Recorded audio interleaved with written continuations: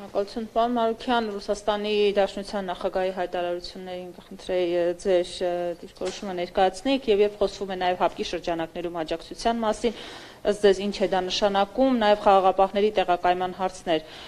քննարկվում, ինչ է կարծում, արդյոք դա կարող է շրջանում քննարկման առարկա դառնալ։ Շնորհակալություն։ Ուրեմն Ռուսաստանի նախագահ խաղաղապահների որևէ հարց չի բարձրաձայնել մամուլում կան քննարկումներ, հազարու մի քննարկումներ կան, Ռուսաստանի նախագահի հայտարարությունները ես դիտարկում եմ հետեւյալ կերպ, որ նա վերահաստատել է Ռուսաստանի ռազմավարական դաշնակցային գործընկերային պարտավորությունների կատարումը եւ ասել է, որ դա որևէ ձևով չի կարող կասկածի տակ դրվել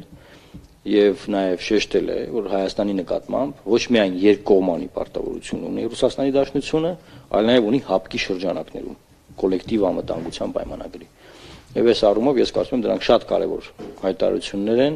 եւ շատ կարևոր ուղերձներ են ուղղված Ադրբեջանին։ Եվ մեկ շատ կարևոր նյուանս կա Ռուսաստանի նախագահի հայտարարության մեջ, չգիտեմ նկատել եք թե չէ, նա առանձնացնում է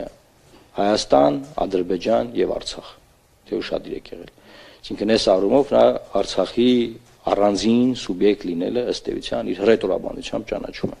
Սա նույնպես կարևոր ուղերձ է ուղված թե Ադրբեջանին, թե միջազգային հանրությանը։ Նաև պետք է հաշվի առնենք, որ Ռուսաստանի Դաշնությունը Մինսկի խմբի համանախագահ երկիր է եւ ավելին մենք չենք կարող սпасել այդ ռետորաբանության մեջ, որտեղ դուրս կգա, որ արդեն այդ երկիրը բանա շատ կողմնակալ է, հա, ինչ որ մի կողմի նկատմամբ, եւ հետեւաբար կսկսվի խոսակցությունը, դե որ կողմնակալ է, բա Մինսկի խմբում ինչ անում։ Իսկեն այդ կոնտեքստում նայեք հայտարարությունը, ես կարծում եմ շատ կարևոր հայտարարություն է